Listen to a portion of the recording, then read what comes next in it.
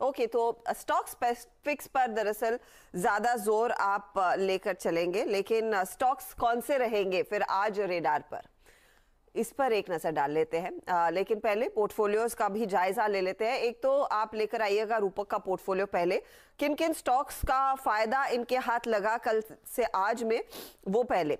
एक तो कल के टॉप ट्रेडेड काउंटर्स में रूपक का अपोलो टायर था जो करीब ढाई परसेंट तक के रिटर्न्स देने में कामयाब। वहाँ पर इन्होंने प्रॉफिट बाँध लिया। एग्जिट किया हुडको के ट्रेड को। अनफॉर्चुनेटली हुडको आज चला है। वैसे इनका टारगेट था 61 का। और हिताची एनर्जी मॉयल के ट्रेड के साथ ये फ़िलहाल अभी भी पोजीशन को होल्ड कर रहे कल ये दो ट्रेड दरअसल आए थे। आ, तो आज नया क्या जोड़ेंगे बताइएगा रूपक?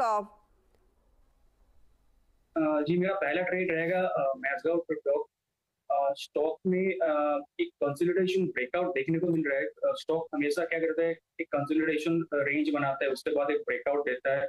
तो इस बार भी कंसोलिडेशन बनाया डेली चार्ट में और ब्रेकआउट भी दिया। तो मुझे लगता है कि हज़ार पचास तक का स्टॉक जा सकता है, एक दो दिन में। और नीचे स्टॉप लॉस मेंटेन करना रहेगा, वो आठ सौ सत्तर पे। ट्वेंटी का स्टॉप लॉस और थाउज़ेंड फिफ्टी का टारगेट रहेगा मजगांव डॉक तेज़ी वाला ट्रेड आज इसमें अच्छी खासी मोमेंटम देखने को मिली है। तेज़ी की शुरुआत दरअसल आई हुई थी आ, आपके कोची शिपयार्ड में और फिर फॉलो थ्रू आया मजगांव थाउज़ेंड फिफ्टी के लिए एक अपॉर्चुनिटी समित का पोर्टफोलियो आपकी स्क्रीन पर लेकर आते हैं।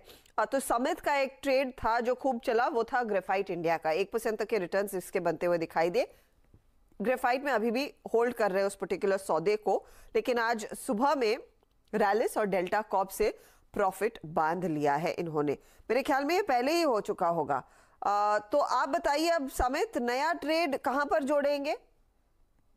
देखिए हर्षद अनफॉर्चुनेटली स्टॉक स्पेसिफिक वैसे सिलेक्शन अच्छा नहीं किया क्योंकि हैंडफुल ऑफ़ स्टॉक्स में ही मूवमेंट आ रही है सभी स्टॉक्स में आपको मूवमेंट नहीं दिख रही है। तो वैसे सिलेक्शन इतना यू नो खासा भी नहीं रहा है। तो डेल्टा कॉप तो ऑब्वियसली ये बैन में आया तो उसमें मूवमेंट तब तक नहीं आएगी जब तक ये बैन से बाहर जाएगा।